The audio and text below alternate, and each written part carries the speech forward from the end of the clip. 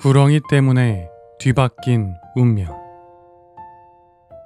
이 이야기는 아주 오랜 옛날 한 겨울에 어느 시골 마을에서 벌어진 기묘한 이야기입니다. 그 시골 마을에는 김용덕 씨라는 아주 부유한 사람이 살고 있었습니다.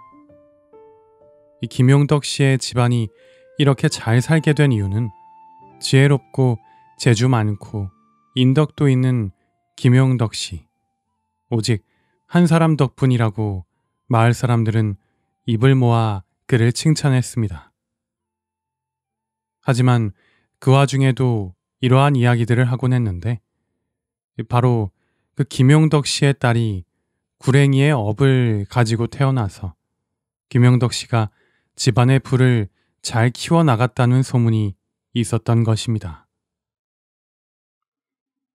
그런데 어느 해에 그 김용덕 씨가 세월이 흘러 병을 앓다가 세상을 떠나고 말았습니다.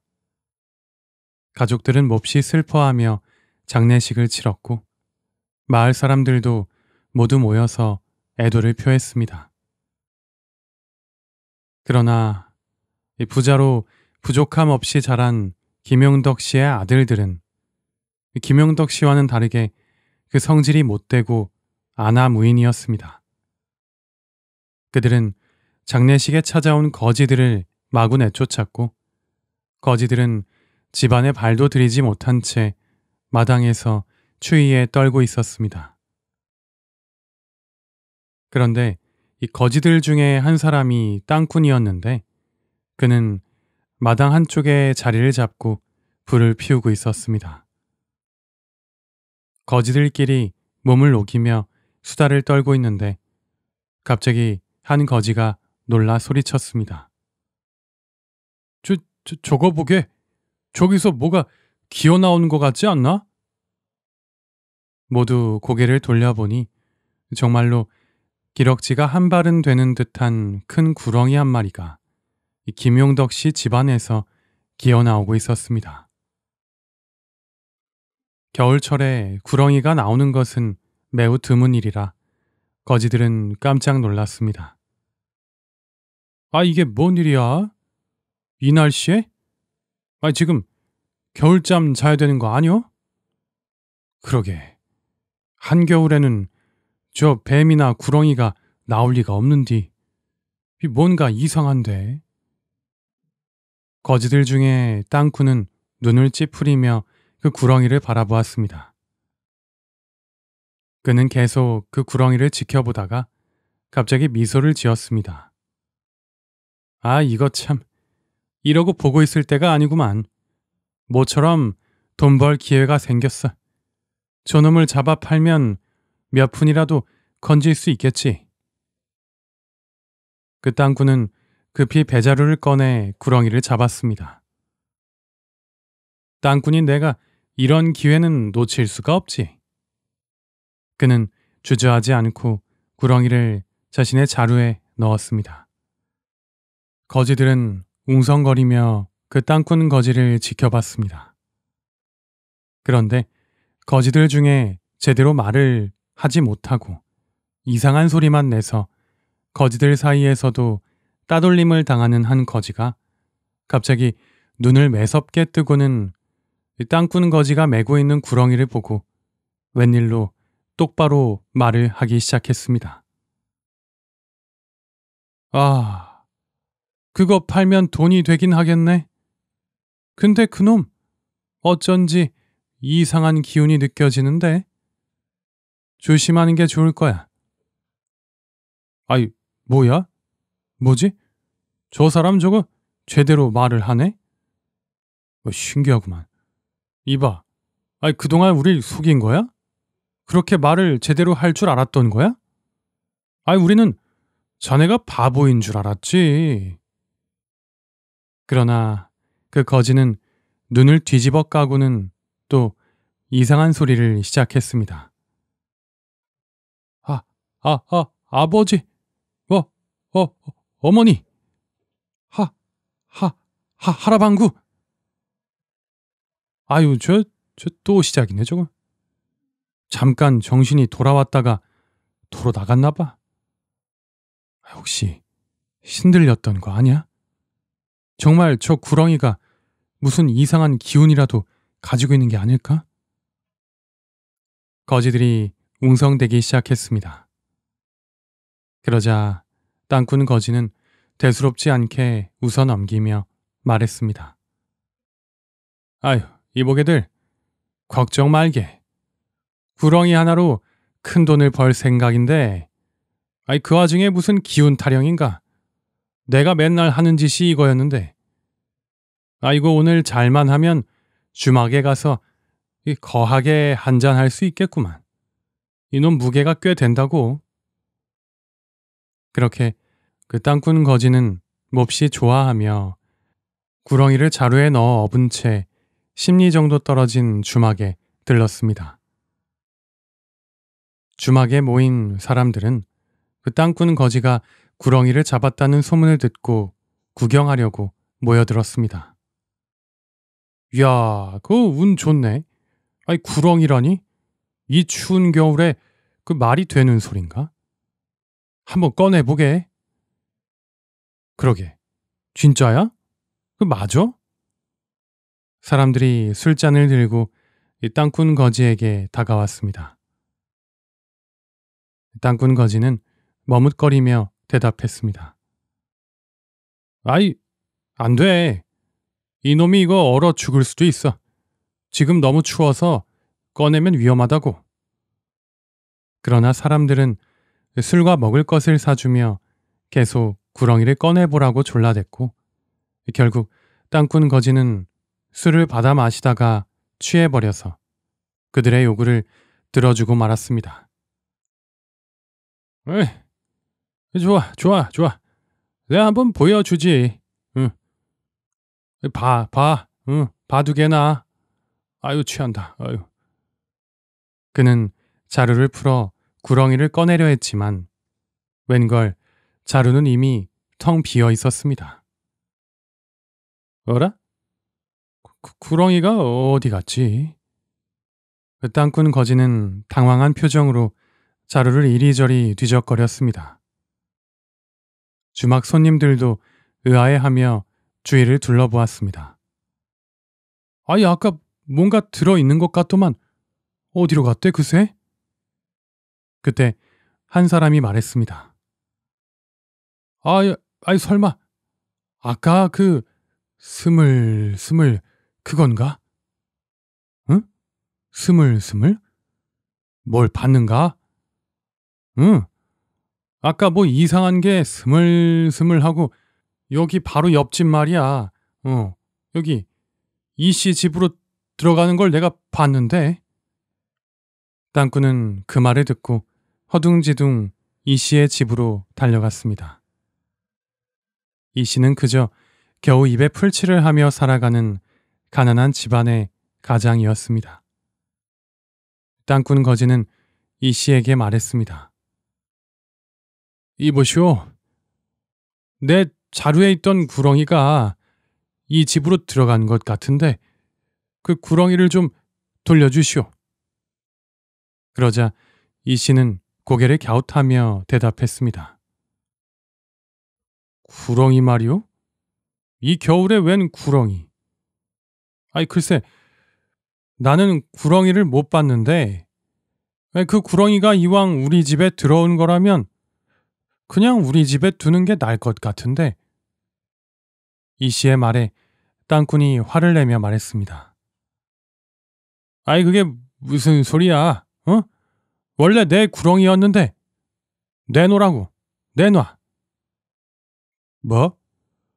아이, 구렁이가 물건도 아니고 임자가 어딨나, 임자가. 구렁이 지 하고 싶은 대로 하는 것이지. 뭐라고? 아니, 그 내가 잡은 것인데?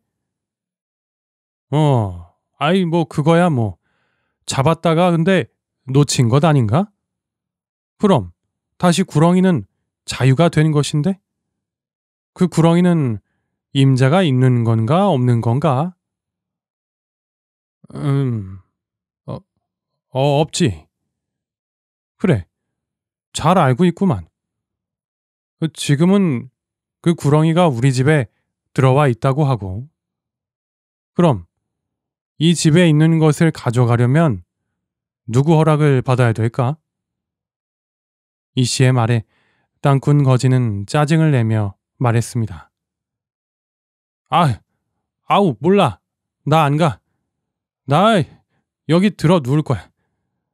그 땅꾼 거지는 냅다 이 씨의 집 문 앞에 들어 누웠습니다. 그러자 이 씨가 당황하며 말했습니다. 아이, 이 사람, 이, 이런 생떼가 어디에 있나? 응? 어서 일어나게. 아, 여기 누워있다가 자네 얼어 죽어? 응? 아이, 몰라. 응? 얼어 죽은 송장 치우기 싫으면 내 구렁이를 내놓던가. 응? 아니면 구렁이 값을 나에게 치르든가. 아, 그래서 그 얼마를 원하는가? 구렁이가 말이야. 겨울에는 아주 찾기 힘들다고. 응? 그러자 이 씨는 손가락으로 숫자를 세며 물었습니다. 아이고, 이봐, 성냥이면 어때? 당장 내가 가진 돈이 그게 전부란 말이야. 이 씨가 난처한 표정으로 말하자 땅꾼 거지는 귀찮은 얼굴로 한숨을 쉬며 대답했습니다. 아이, 알겠어 그럼. 그 성냥 받고 내 구렁이 줄게. 그 땅꾼 거지는 그렇게 성냥의 돈을 받고 구렁이를 완전히 포기하고 이 씨에게 넘겼습니다. 그런데 그 후 점차 기묘한 일이 벌어졌습니다. 김 씨 집안은 점차 점차 새가 기울어 폐가 망신을 하게 되었고 반면 찢어지게 가난했던 주막집 옆집 사는 이 씨 집안 살림은 날로 번창하여 곧 근처에서 가장 부유한 부자가 되었습니다. 마을 사람들은 이 모든 일이 김 씨 집안의 복을 가지고 있던 구렁이가 이 씨에게 넘어가면서 벌어진 조화라고들 말했습니다. 김 씨 집에 있던 구렁이의 업이 잠시 땅꾼의 손을 거쳐 이 씨에게 옮겨갔고 덕분에 그의 집안은 번성하게 된 것이었습니다.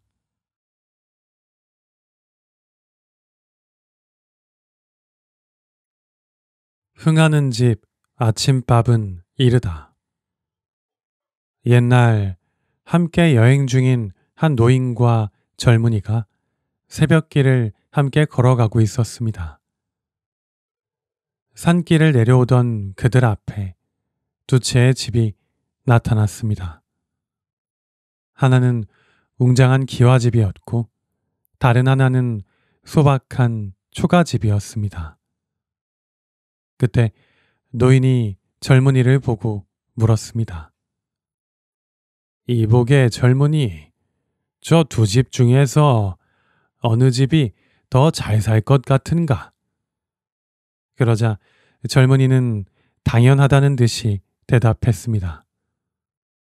물론 기와집이 부자겠지요. 집도 크고 튼튼해 보이니 말입니다. 그러자 노인은 미소를 지으며 말했습니다. 맞긴 맞는데 그보다 중요한 것은 저 연기를 봐야 한다네. 예? 연기를요? 젊은이가 어리둥절한 표정으로 물었습니다. 노인은 손가락으로 기와집 굴뚝을 가리키며 말했습니다. 저 기와집 굴뚝에서 이렇게 새벽부터 연기가 나고 있지 않나. 이른 아침부터 부지런히 밥을 짓고 있는다는 건 이 집이 열심히 일하며 살고 있다는 뜻이지. 부지런한 집은 결국 잘 살게 마련이네. 아, 그렇군요. 일리가 있습니다. 연기를 보라. 과연 그래서 저렇게 잘 살게 된 것이겠죠. 젊은이는 고개를 끄덕였습니다. 그렇게 두 사람은 그날 함께 그 마을을 살펴보다가 저녁이 되어 묵을 만한 곳을 얻기 위해서 다시 길을 걸으며 주변을 둘러보기 시작했습니다. 이왕이면 살림이 넉넉한 집에서 머무는 것이 좋겠구만. 안 그런가? 예, 그렇지요. 밥을 얻어먹어도 어, 반찬이 더 많이 나올 겁니다. 그래, 그래. 그렇지. 그렇게 대화를 나누며 함께 길을 걷다가 두 사람은 또 다른 기와집과 초가집을 마주했습니다. 이번에도 젊은이는 기와집을 보고 더 잘 사는 집일 거라고 생각했습니다. 그런데 이번에는 기와집은 이미 불이 꺼져 있었고 초가집에서는 저녁 연기가 막 피어오르고 있었습니다. 그때 노인이 물었습니다. 자, 이보게. 저 두 집 중에서 이번엔 어느 집이 더 잘 사는 것처럼 보이는가? 젊은이는 곧장 대답했습니다. 당연히 기와집이죠. 이른 저녁을 먹고 벌써 쉬고 있으니까 일찍 모든 일을 마쳤다는 뜻이 아닐까요? 그러자 노인은 고개를 저으며 말했습니다. 아니네. 저 초가집이 진정 더 잘 사는 집일세. 놀란 젊은이는 다시 물었습니다. 저 초가집이요? 아니, 어떻게 그런 거죠? 잘 들어보게나. 이 집안이 잘 되고 못 되는 것은 그들의 식사 시간만 보아도 알 수 있지. 흥하는 집은 아침밥을 일찍 먹고 저녁밥을 늦게 먹는 법이네. 그만큼 일을 많이 하고 늦게까지 바쁘게 지내기 때문이야. 젊은이는 고개를 끄덕였지만 여전히 의아해하였습니다. 그러자 노인은 다시 설명했습니다. 저 기와집 사람들은 벌써 저녁을 먹고 잠들었지 않나. 이는 곧 저 집이 일하는 시간이 짧고 상대적으로 게으르다는 뜻일세. 반면에 저 초가집 사람들은 이제야 일을 끝내고 밥을 먹고 있으니 이 초가집 사람들이 진정 부지런한 사람들이라는 것을 알 수 있지. 그 말을 들은 젊은이는 그제야 이해가 간다는 듯한 표정을 지었습니다. 그리고 정말 그로부터 몇 년 후, 그때 그 기와집은 재산을 모두 잃고 결국 옆에 있던 초가집 주인에게 그 기와집을 팔아버리고 말았습니다. 그리고 초가집 사람들은 기와집을 사들이고 점점 더 부유해졌습니다. 이때부터 사람들은 흥하는 집의 아침밥은 이르다 라는 말을 쓰게 되었다고 합니다.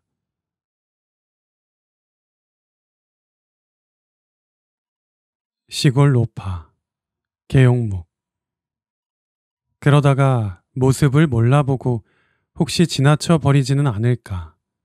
거의 20년 동안이나 못 배운 덕순 어머니라 정거장으로 마중을 나가면서도 나는 그게 잠옷 근심스러웠다.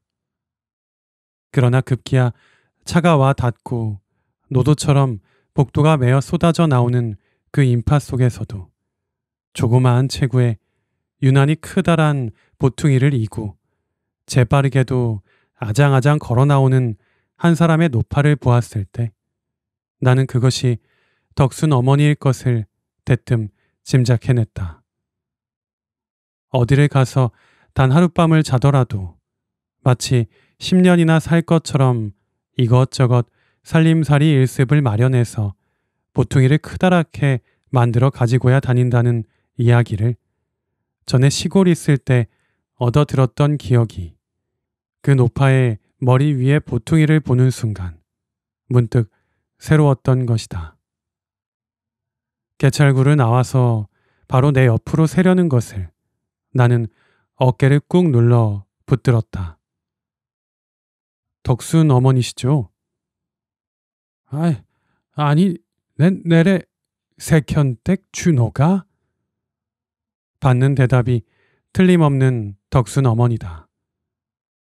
그리고는 눈이 둥글해서 쳐다보는 게 준호라면 그렇게도 몰라볼 수가 있느냐는 태도다. 절 잘 모르시겠죠? 모르다니. 아이, 그렇게도 어릴 적 모습을 몰라볼 법이 세상에도 있네. 내래 날 알아보고 찾았게 그러디. 난 널 한나투 모르겠구나. 그래. 네 처도 잘 있고 아들도 공부 잘 하디? 반가움에 못 참는 듯이 덕순 어머니는 내 손목을 꽉 붙든다. 그럼요. 자라나는 애들을 그럼 알아보시겠어요? 이렇게 대답은 했으나 실상인즉 늙어가는 모습도 자라나는 모습에 지지 않게 변하는 성쉽다. 그 보통이 생각으로 짐작해서 붙들었게 그렇지 어렸을 때 대하던 그 모습의 상상만으로서는 도저히 찾아낼 수 없을 뻔했다. 그 작은 키와 아장거리는 걸음만을 그저 의구하게 그대로 지니고 늙었을 뿐. 그렇게도 풍만하던 피육은 다 빠져서 눈을 속인다. 거저 내래 길을 앓은 펜지 없이 차에서 청 내려 걸어 들어가련만 괜히 새벽통에 남 잠도 못 자게 님젤 나오래서 미안허해. 천만의 말씀을 다 하십니다. 저야 뭐 밤새껏 다리 뻗고 잤는데요. 참 아주머닌 차에서 퍽 고나셨겠습니다.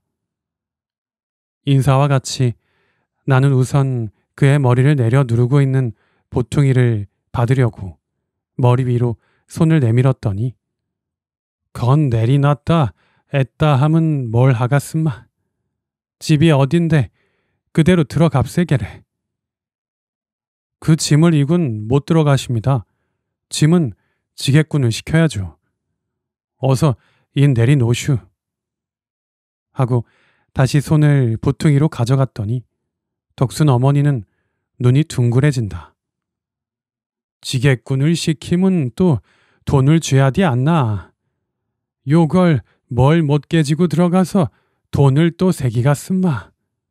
집에서 덩거당으로 나올 적에도 20일 내래 이구 나온 걸. 그러나 그 짐을 가지고야 사람 많은데 어떻게 전차를 탑니까? 전차를 타? 아이 집이 얼마나 멀기? 멀어야 장안일 겐데 얼마나 서울이 넓어서 그러노 하는 듯이 사방을 한번 쭉 둘러 살핀다. 머지에 안 습죠.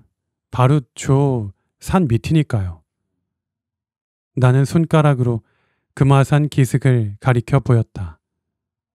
했더니 덕순 어머니는 아이 아니 거길 뭐 요걸 못 이고 걸어 들어가서 지게꾼을 시키고 전차를 타고 해. 응?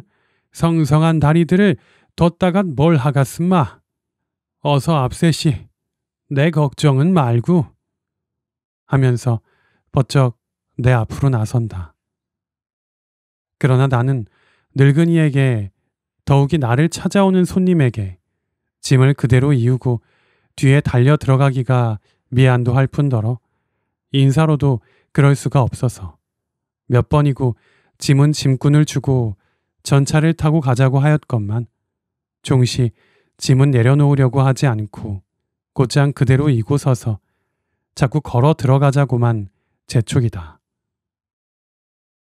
처음 어려서 시집을 올때 겨우 채농 한 바리를 해가지고 온 것이 세간의 전부였던 가난한 살림으로 근처 집 논을 몇 마지게 얻어서 농사를 지으며 추수를 하여 가지곤 왕복 70리나 되는 가깝지도 않은 산골길을 남 다 타는 기차 한 번 타는 일 없이 장이면 장마다 모가지가 부러지도록 별을 찧어 이고 들어가선 국수 한 그릇도 안 사먹고 선자리로 또 좁쌀을 팔아내다가 그것도 아깝다 죽을 끓여 먹으며 푼돈을 아끼고 뜯어 모으기 무릇 몇 해에 논 맞이기까지 십여 두락을 잡아 놓았으니 오죽한 여자가 아니라는 소문을 동네에 남기었던 덕순 어머니인 줄은 나는 잘 안다.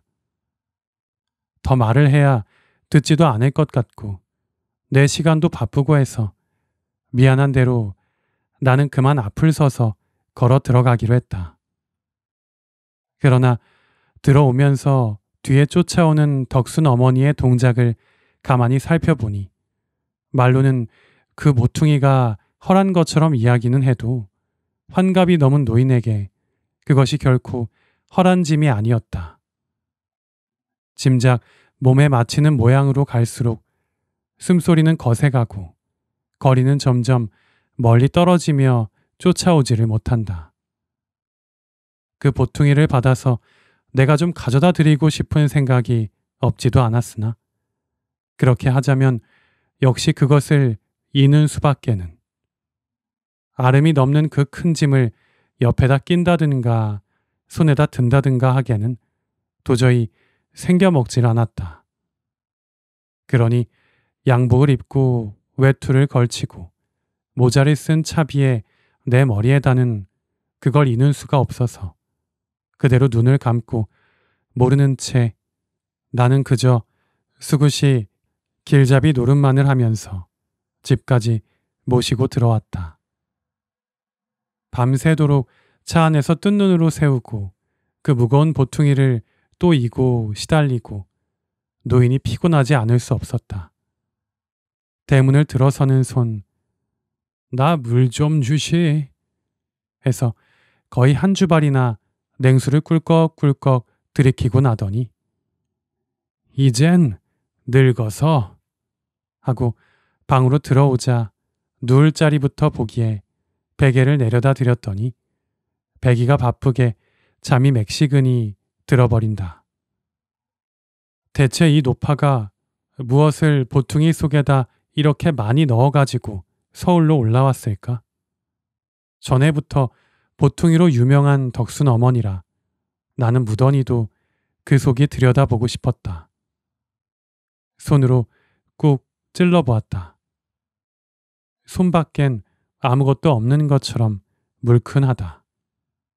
그러나 서울 행장에 솜이 무슨 필요가 있을까? 들어보니 솜도 아닌 것 같다. 맞질하게 무겁다. 그게 다 뭐래요? 하도 큰 보퉁이라 아내도 궁금해서 묻는 것이었으나 찔러는 보았다고 해도 거기엔 나 역시 대답할 자격이 없다. 글쎄, 뭘까? 아내까지도 괜히 호기심이 그 보퉁이 속으로 끌려 들어갔드나 남의 짐에 임의로 손을 댈 수가 없고 해서 한참이나 돌아가며 아내도 나도 찔러보고 만져보고 하다가 시간이 좀 바빠서 그만 나는 궁금한 대로 집을 나왔다가 오후 2시쯤에서 돌아와 봤더니 덕순 어머니는 그때까지도 잠이 든 채로 깨지 아니하고 있었다. 아내는 점심을 지어놓고 덕순 어머니를 깨울까? 그러나 곤히 잠든 노인을 깨우기도 못하고 해서 어찌해야 좋을지를 몰라 망설이고 있는 중이었다. 뭘 깨워야지. 다 식지 않나? 글쎄요. 아내는 그래도 꺼리는 것을 나도 시장에서 같이 상을 받으려고 덕순 어머니를 흔들기로 했다. 아주머님!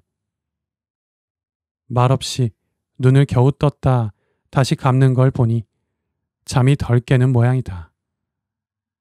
퍽 고나시죠? 점심이 다 되었는데 일어나세요. 한 번 더 몸을 흔들었더니 아이고 점심은 와 내래 그만 참 잘내기 있었쇠게래. 하고 부시시 일어나며 발 길가리에 놓았던 보퉁이를 당긴다. 밥이 너무 뜬다고 서둘던 아내도 그의 손이 보퉁이로 가는 것을 보자 돌아서던 발을 다시 돌려 세우곤 눈을 그리로 쏟는다.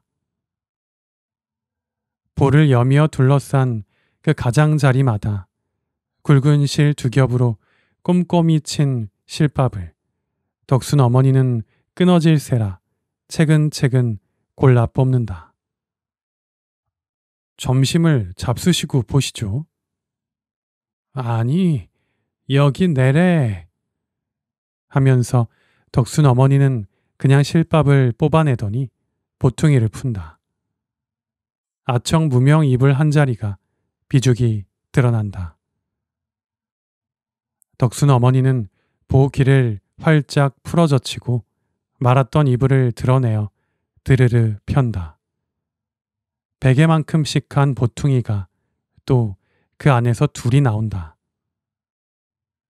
그는 그 가운데서 좀 길쭉한 놈을 골라 드러내더니 아마 굳었을 걸. 섭섭해서 떡을 더 대치 해게지고 왔구만. 하고 그 볼을 또 푼다. 당직이 나온다. 샛노란 콩가루 속에 묻힌 찰떡이다. 아예 아주머니도 떡은 그렇게 아니 얼마 되나 뭐 섭섭해서 거저 그르디. 자 하나씩 들자오. 김치나 있음 좀 뒤로시. 하고 허리춤에서 장독 칼을 뽑아내더니 그 떡을 썩썩 벤다. 나는 그 떡의 구미보다 남은 보퉁이의 구미가 더 통했다. 그것은 또 무엇일까가 궁금한 것이다. 그러나 덕순 어머니는 거긴 무슨 비밀이나 담긴 것처럼 떡을 드러내 놓고는 남은 보퉁이는 다시 먼저 모양으로 이불 속에다 꽁꽁 말아 놓는다. 눈을 좀 붙이고 점심을 먹고 나니 그저에야 정신이 드는 듯이 덕순 어머니는 아이고 서울 와서 구경은 안 하고 잠만 자다니 하면서 마당으로 내려선다. 집이 무던히 초라하죠. 상을 들고 뒤를 쫓아 나가던 아내의 이야기였다. 그런데 마당은 어둠에 있노? 하고 덕순 어머니는 엉뚱한 소리를 하면서 사방을 휘 둘러 살핀다. 하도 마당이 좁으니까 마당이 마당으로 보이지 않는 모양이다. 마당 한복판에 서서 마당을 찾는다. 서울집 마당이야. 그저 대개 다 이렇죠. 아, 아니, 그럼 저건 채원이고? 하고 물동 옆에 파가 두어 폭이 서 있는 걸 턱으로 가리킨다. 아닌 게 아니라 그게 우리 집 채원이었다. 어디다 무어 풋나물 같은 것한 폭이 심어 먹을 데 없고 가게에서 사다가 먹자니 며칠씩이나 묵었든지 생기라고는 하나도 없는 시들은 것이 늘 손에 들어오기 쉬워서 아내는 항상 파라든가 배추라든가 이런 것을 사다가는 기껏 꽂아야 열 포기를 더 넘기지를 못하는 그 물동 옆에다 흙을 약간 호미로 헤집고는 뿌리를 묻고 물을 주어 며칠씩 살리어서 먹고 난다.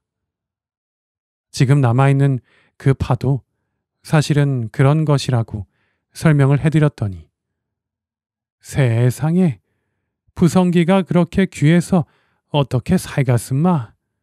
서울선 일습을 그저 돈 주고 사다 먹는 덱이 편한 줄만 알았는데 우리겐 지금 한참 흔한 게 시금치라 산나물이라 이거야 돈이 덜 주나 가서 뜯어오면 되는 거 하면서 마치 우리 집 구경이나 온 것처럼 부엌으로부터 광이라 변소라 넘석넘석 구석마다 돌아가며 살펴보고 나더니 업물은 어둠에 있음마 하고 아내를 바라본다.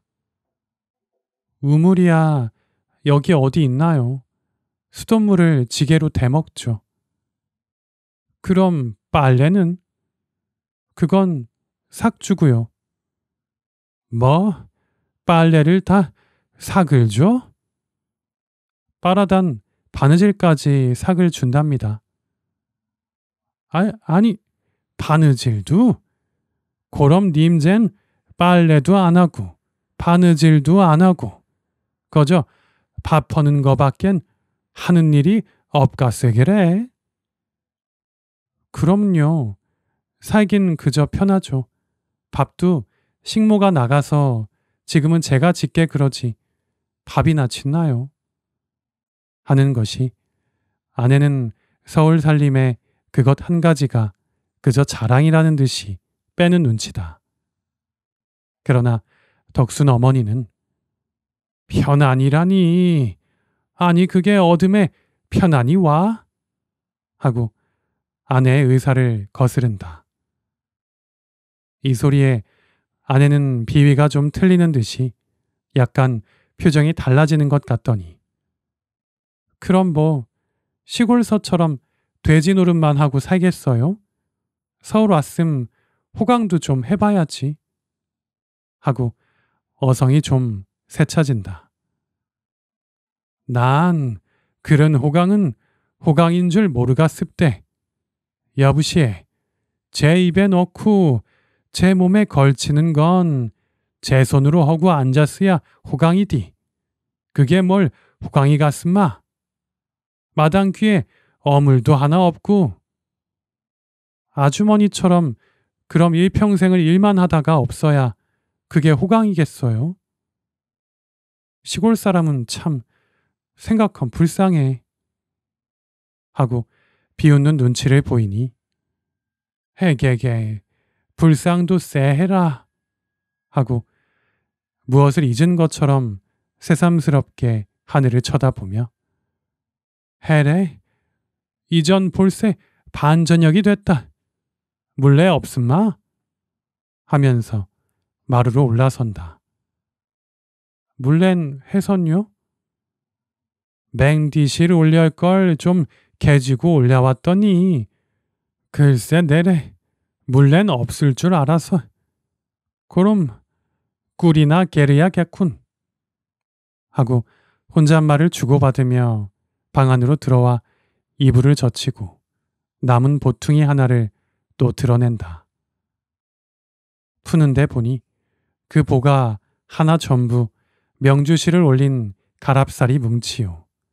꾸리를 겼는데 쓰는 도구들이다. 그거 보세요, 아주머니. 잠깐 서울 구경 와서도 좀 편히 앉아 계시지 못하고. 그건 일이 아니라 일의 노예예요, 노예. 아니, 뭐, 달라, 그런마. 글쎄, 며느리래 맹딜 짜기 시작했는데 걸 내래 꾸릴 게래 쥐야디 누구래 개래 주갔음마.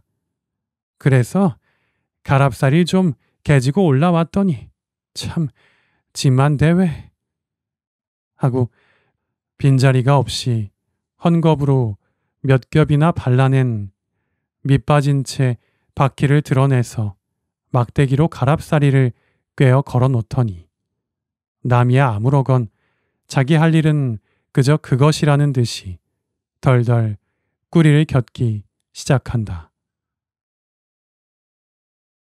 이튿날은 덕순 어머니가 목적하고 올라온 창경궁 벚꽃 구경을 마침 일요일이라 내가 모시고 떠났다가 돌아오는 길에 그는 화신만 들어가 보자는 걸 나는 진고개로 빠져서 미나까이 히라다 미스꽃이 조지아까지 구경을 시켜드렸다. 꽃이 이제 활짝 피었겠죠? 그러지 않아도 그제부터 창경궁에 가보겠다고 벼르던 아내는 꽃 소식이 급한 듯이 마주 나오며 묻는다. 구경이 거저 사람 구경 입 대게래. 5월술이 씨름판보다고 더해. 에게 웬 사람이 그렇게 많겠음마. 사람도. 덕순 어머니는 엉뚱한 대답을 하며 마루에 털썩 앉는다. 이제 밤에 한 번 더 가보셔야죠. 아주 만개죠? 실세, 여부시, 밤에도 거저 거같디 무슨 벨꽃이 있겠음마. 난 구경 꼭 구경하게 제법 훌륭한 줄 알았더니 거저 그렇투만 뭐. 대수롭지 않은 대답이다. 글쎄 어쩌면 야행이라는데 밤에 한 번 더 가보셔야죠. 저녁 먹고 또 가실까요? 건 무슨 구경이라고 이제 와서 또 가갔으마. 난 밤엔 꿀일 좀 게리하겠세. 본래 내래 이번에 어디 서울을 올라올 길이 와. 며느리래 배틀을 버텨놓질 않았나. 셋째래 저 끝에 매달래 제 애미 배못 자게 송알 안 시키겠나. 하는 걸 거저. 아, 그래서 난 싫대도 아들 다 잡고 방금 죽기나 하갔는디 굳기시 전엔 금년엔 어서 서울 구경이나 한번 하시고 내로라고 너무도 그래서 말을 안 들음 또 그것도 어떻게 정성을 깨티는 것 같아서 올라왔디. 서울이 뭐이와 다 내래. 하고 수건을 벗어 보이약해 묻은 먼지를 턴다. 그러면요. 막 떠나야 구경을 올라오시지. 어쩌면 시골서 서울 구경이라는데. 하고 나도 마루로 올라섰다. 아니 여부시, 난 그까진 꽃 구경보다도 배가덤 구경이 더 스럽습대께래. 아이고 커 천덜도 고운 게 많기도 없대. 사발이랑 또 댕가장 단대긴 얼마나 묘한 게 있고. 난 거저 고개 탐납대. 그래서 조지아에서 아주머니 그저 그걸 들고 그리 만지적거리셨군요. 하고 낮에 덕순 어머니가 그래서 그걸 놓지 못하고 만지고 섰더랬거니 하는 생각이 나서 희죽이 웃었더니 나 그걸 한 개 사게 주고 올 걸 그랬나 봐. 저 손주놈 밥상에 놔주게 하고 무더니도 아련해진다. 그렇게 아련하심 요 앞에서 사시지요. 그런 건 사기 전마다 드립다 쌓인 게 그거랍니다. 했더니 응? 있어? 요 앞에도 그게? 그럼 여부시 나하고 좀 또 나갔다 들옵세. 하고 일어선다. 종일 돌아다녔더니 맥이 폭삭이 나는 게 조금도 움직이기가 싫은데 또 나가보잔다. 그맛거야 그리 급하실 거 뭐 있어요? 급할 건 없디만 앉았음 몰아갔음마. 살건 사놔야 마음이 쎄한해난 하는 말이 곧 나가 주었으면 하는 눈치다. 그래서 앞거리에 또 모시고 사기 전으로 나갔더니 조지아에서 보던 것처럼 그렇게 묘한 게 없다. 새 집이나 돌아가며 보았어도 그런 게 눈에 뜨이지 않았다. 그러니 그저겐 나온 김에 또 조지아로 다시 가보자는 것이다. 그러나 벌써 5시 반. 백화점들은 문을 닫힐 때다. 내가 내일 회사에 갔다 오는 길에 사다 드린다고 해서 안심하고 돌아 들어오던 덕순 어머니는 금물전 가게 앞에 이르러 문득 발을 멈추더니 여보시 하고 나를 찾는다. 돌아다 보니 집게에 집어서 문 앞에 매달아 놓은 무슨 나무핀 쪽 같은 것을 가리키며 우리 대거 한 개 살까? 한다. 그게 뭔데요? 그게 쥐창에 아니와. 우리 개선 지금 그걸 살래야 살 수가 없음 되게래. 그래서 광이도 없고 지난 겨울엔 고놈의 쥐새끼들이 벨 얼마나 축냈는디 가만이란 가만인 모줄이 돌아가면서 쏠고 하면서 올려다 보다가 대거 얼마요? 하고 묻는다. 그래 15전이라니까 그럼 둘을 달래 가지고 들어오다가 아내를 보더니 참 서울은 서울이구만.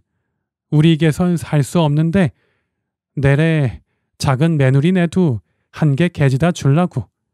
그래서 둘을 샀어. 하고 자랑처럼 이야기를 한다. 그래 서울 오섰다. 작은 며느리 비단 치마 저구리감이나 한 불씩 끊어다 주시지 아주머니도 원 쥐창애가 무엇이에요? 하고 웃으니 혼나갔어요 여부시 비단 초마 조거리 입고 김을 어떻게 매갔음마? 니 불감 봐가면서 발을 패야디 하고 방으로 들어가 보자기 속에다 그걸 꽁꽁 싸넣는다. 그리고는 내일 저녁 차로는 집으로 내려가야겠다고 부지런히 꾸리를 켰는다. 밤에도 몇 시에야 갔는지 11시쯤 해서 우리 내외가 이불 속으로 들어갈 때까지 그는 드르릉 드르릉 그저 꾸리만 곁고 앉아 있었다. 이튿날 아침 아마 8시는 되었을까.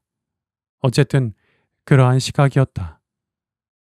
전에 같으면 이맘때이면 벌써 일어나서 세수를 하고 밥상 들어오기를 기다리고 있을 시각이었만 어제 종일 돌아다닌 것이 몸에 마치었던 모양인지 그때까지 나는 잠을 깨지 못하고 있다가 아내의 부르는 소리에야 겨우 눈이 튀었다.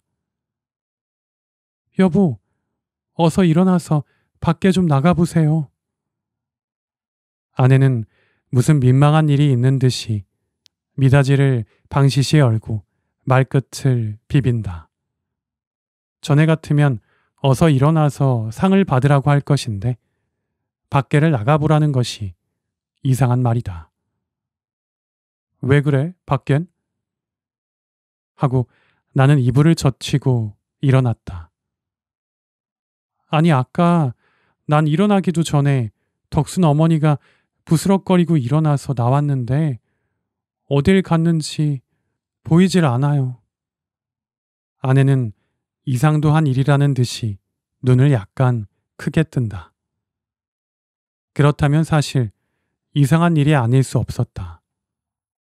거리에 나갔다가 혹 집을 잃은 것이 아닐까? 그러지 않으면 못 잊어 하던 그 고추장 단지를 사러 조지아에 혼자 간 것인가? 어쨌든 문 앞을 나가보기로 옷을 추려입고 막 마당으로 내려서려는데 대문이 찌끙하고 밀리기에 내려다 보니 덕순 어머니는 물이 남실남실 담기운 바켓스를 들고 숨이 차서 들어오다가 문턱 안에 겨우 들어 넘겨놓고는 후 하고 한숨과 같이 허리를 뒤로 젖힌다. 아니, 아주머니, 이게 무슨 일이에요?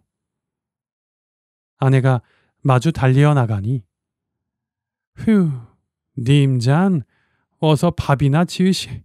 내 걱정은 말고. 하면서 바켓스를 들어다 물독에 붓는다. 그리고는 아무 말도 없이 또 바켓스를 들고 대문을 향하여 나가려고 돌아선다. 아이, 아주머니, 물은 왜 긴누라고 그러세요? 근처에서 흉들을 보게. 아내가 바켓스를 붙더니 흉은 내 손발 개지고 내래 물겠는데 어느 누가 본마. 벨소리 다 마르시. 비웃는 태도로 뿌드친다.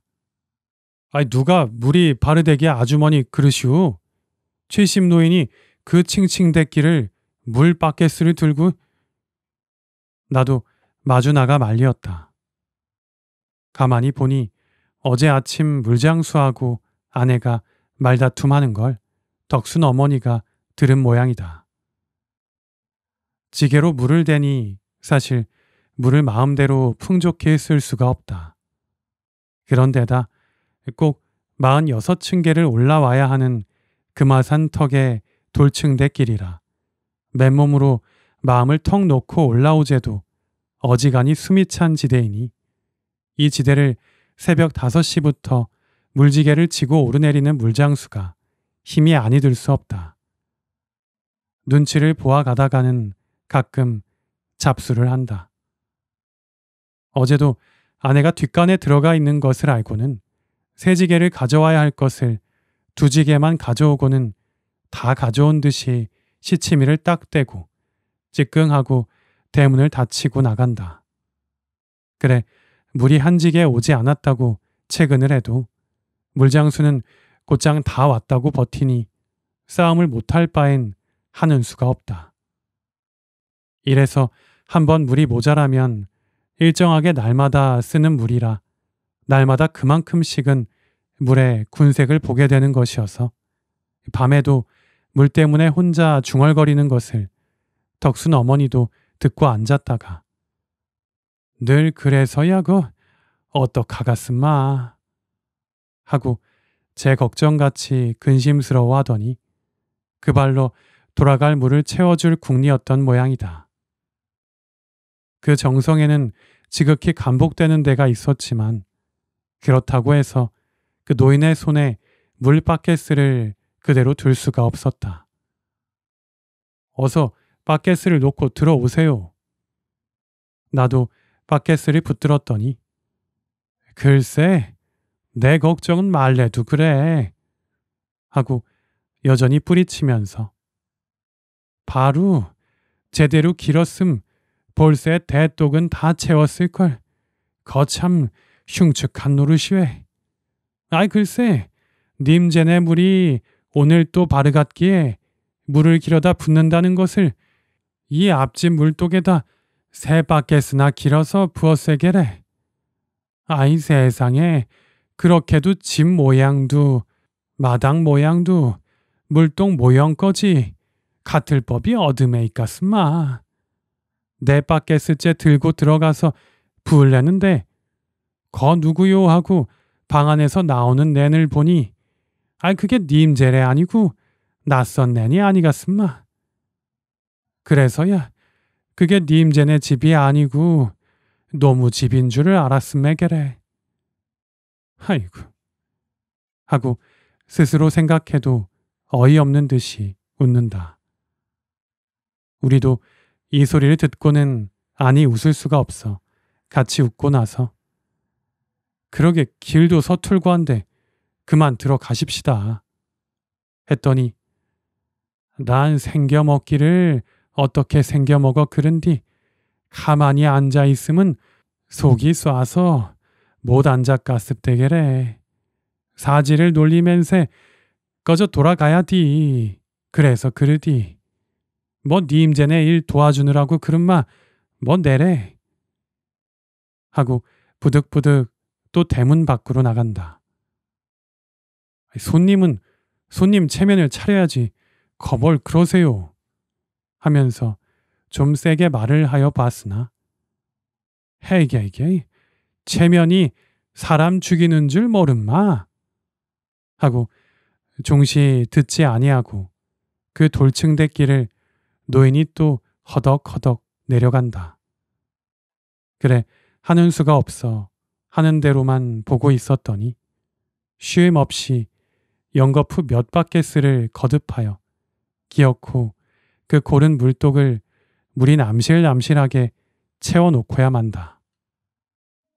그 후부터 나는 아내와 물장수가 말을 다툴 때마다 덕순 어머니를 생각하게 되고 생각하게 될 때마다 이 늙은이가 지금은 무슨 일에 또 그리 앉았지도 못하고 분주히 돌아갈까.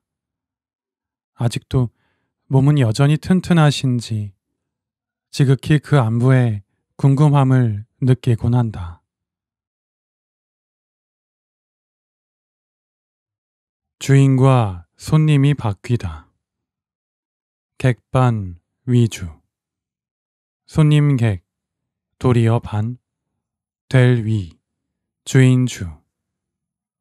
나그네가 도리어 주인이 되다는 뜻으로 사물의 대소, 경중, 전후가 뒤바뀐 것을 뜻하는 말로 사용되는 고사성어입니다.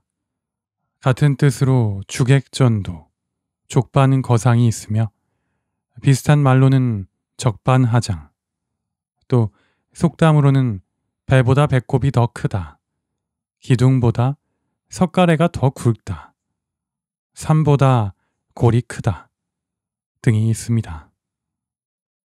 즉, 주인과 손님이 뒤바뀌었다는 뜻으로 중요도에 따라 주가 되는 것과 부수적인 것이 순서나 앞뒤에 차례가 바뀐 경우를 말하는 것입니다. 잘자쌤, 오늘의 이야기는 여기까지입니다. 지금부터는 하루의 피로를 풀고 마음의 안정을 찾기 위해 간단한 호흡법을 함께 해볼까요? 먼저 편안하게 앉거나 누워주세요. 천천히 눈을 감고 깊게 숨을 들이마십니다. 천천히 가능한 한 많은 공기가 폐 속에 가득 차도록 해주세요. 그 다음 천천히 숨을 내쉽니다. 내쉬는 동안 오늘의 모든 걱정과 스트레스가 함께 흘러나간다고 상상해 보세요. 한 번 더 깊게 숨을 들이마시고 내쉴 때는 몸의 긴장이 풀리도록 더욱 천천히 내쉽니다. 이렇게 호흡을 몇 번 반복하시면서 몸과 마음이 점점 더 편안해지는 걸 느껴보세요.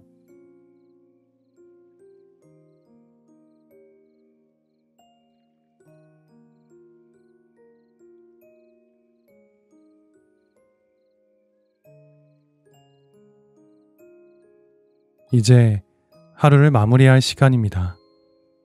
오늘의 모든 것을 내려놓고 편안한 마음으로 내일을 맞이할 준비를 하세요.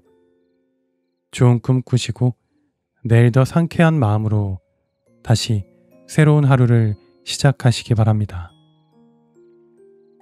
오늘도 저의 이야기를 들어주셔서 감사합니다. 꿀잠님들 모두 잘 자셈.